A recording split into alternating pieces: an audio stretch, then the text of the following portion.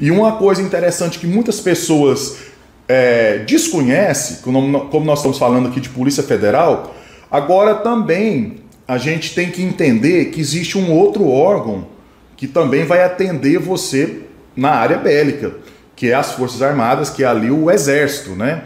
Que o EB, que vai te, te dar toda uma, uma um leque para você trabalhar com vários, vários segmentos da área bélica, como CRs, atiradores. Fala um pouquinho aí, meu irmão.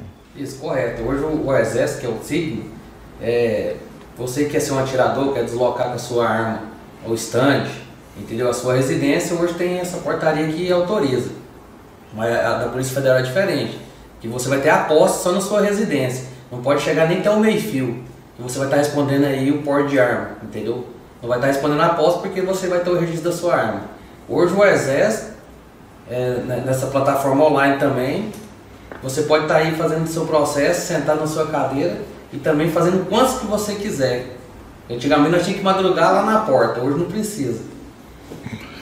É, madrugada, quantas pessoas, tinha gente que pagava as pessoas para ficar ali porque também tinha quantidade é, Protocolo. de protocolos restrita ali, né? Isso. Muito pouco, então você não conseguia. Você passava ali a noite toda, frio, vontade de ir no banheiro. Para protocolar dois, dois processos, noite toda para dois. Não, e chegava lá, o camarada ainda, você tava com dois na mão, ele olhava lá, achava que uma assinatura não estava batendo, Correto. ou o endereço ali não estava incorreto. Não, isso aqui não é de energia, não. Não, não é de energia, mas é da água. Não, a gente só aceita o comprovante de energia. Aí você ia fazer o quê? Caçar briga dentro do exército?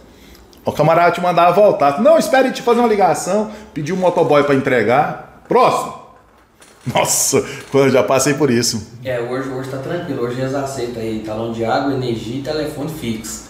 Lembrando você aí, não, não de celular, porque eles não aceitam. Tem residência né, fixa. Isso a gente ensina no curso.